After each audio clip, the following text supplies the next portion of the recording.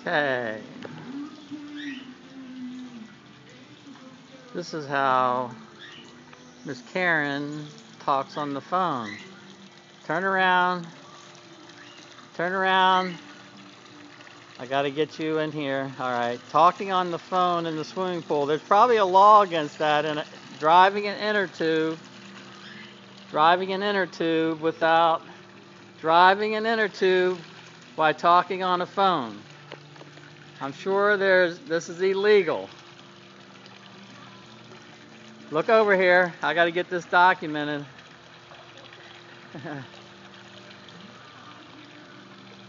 All right, now I got it documented. I'll have to send this to the state troopers. This might be the FAA that controls this. This might be the FAA. Uh-oh. All right.